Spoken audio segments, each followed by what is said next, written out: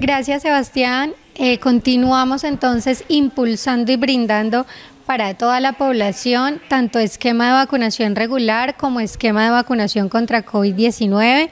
Tenemos disponibles en las IPS vacunadoras eh, Janssen y Sinovac para iniciar y continuar esquemas. Recordemos que nuestros menores ya están iniciando todos en instituciones educativas y suelen haber brotes de muchas enfermedades. Es importante que estén protegidos con las vacunas. Recordemos además que este año tenemos un cambio de esquema. Vamos a poner eh, pentavalente que poníamos antes en una edad más avanzada, 5 años, la vamos a poner a los 18 años. La triple viral también tiene un cambio. Esto para proteger a nuestros menores más oportunamente para que tengan acceso a más vacunas tempranamente. Entonces recuerden que la vacunación es sin barreras de aseguramiento, o sea que no importa qué EPS tienen o si no tienen EPS, no importa si cotizan salud en otra parte, o sea si están asegurados en otra parte la vacunación pueden acceder en cualquier IPS eh, solamente con su carnet y con su documento de identificación.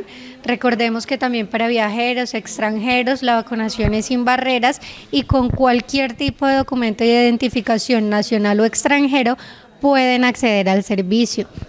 Les recuerdo, tenemos unidades vacunadoras, la IPS municipal, que es quien sale a los barrios. Próximamente les estaría avisando cuándo vamos a estar con las jornadas de salud. Por ahora tenemos este lunes 13, Parque San Francisco, martes 14 de febrero, Centro de Salud San Joaquín, miércoles 15 de febrero, Centro de Salud El Ciprés, jueves 16 Centro de Salud de Zaragoza y el viernes 19 estará vacunando la IPS municipal COVID-19 en sus instalaciones.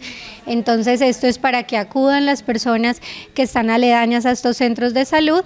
Recuerden documento de identificación y carnet y tapabocas Aún no podemos dejar de ponernos tapabocas en instituciones de salud, recordemos, en transporte público y en sitios de donde haya aglomeración de personas, ya que no nos hemos vacunado juiciosamente contra el COVID-19 y contra otras enfermedades.